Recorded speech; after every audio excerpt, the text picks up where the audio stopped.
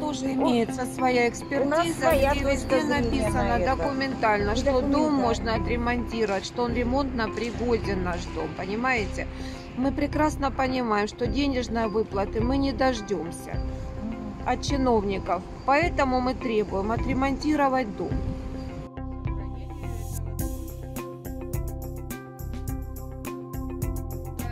Ночь ведь несется дежурство. И ночью И ночью дежурим, и днем дежурим. Вот я сегодня с ночи пришел и еще толком и не спал.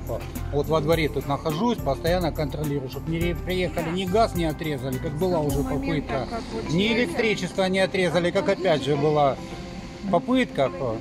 И управляющая компания приходит, говорит, на меня, говорит, давят, нам давят, да, да, отключайте, отключайте, отключайте. Но он, слава богу, управляющая компания мужик с понятиями и подсказывается просто.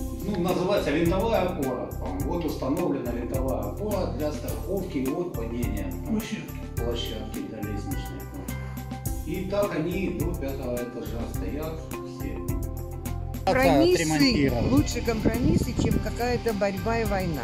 Но все дело в том, что нам ничего не предлагают.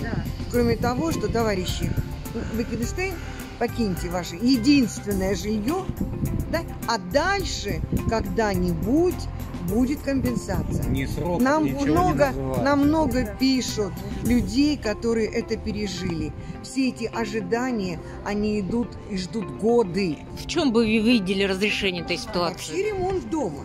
Вообще ремонт То, дома. что Никакого 50 желания. лет. Отремонтируйте нам дом и, мы- и оставьте нас в покое.